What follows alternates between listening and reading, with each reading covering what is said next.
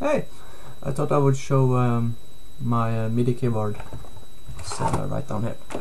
Second, let me. Okay.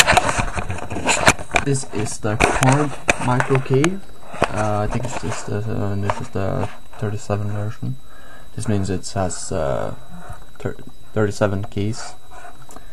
And uh, here is a pitch fader. Changes to pitch. And this is a mod modification wheel. I just use this for um, uh, filter cutoffs and stuff like this. And here's the octave controls. Uh, it moves the octaves up and down. I will show you. Uh, I'll just open uh, Fruity Loops right here. Fruity Loops. Okay, see.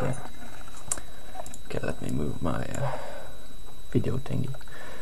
We'll add uh, just a Nexus one right now. I will uh, cut in a screencast so you don't have to see this shitty uh, webcam video. I'll just use uh, my favorite lead, which is the Transsaw Wide. Turn this up a bit. Okay, as you can see here.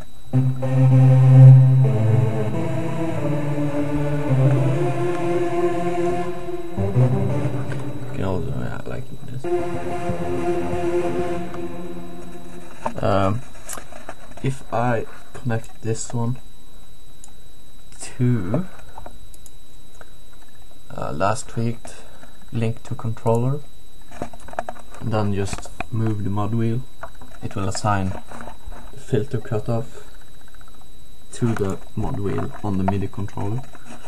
Let me just show you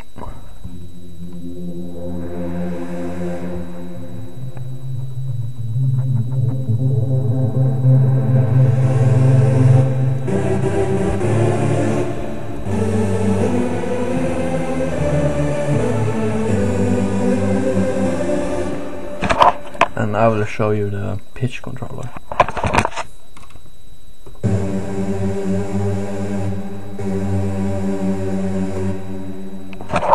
Yeah, and uh, here is the octave controls.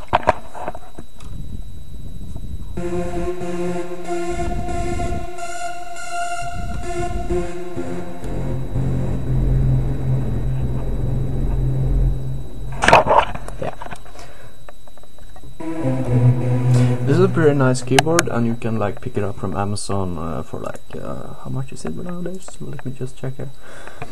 Um, let us see, let us see. Yeah, so eighty dollars. Very good. yeah, so um, I will just edit this video now. Um, thank you for watching.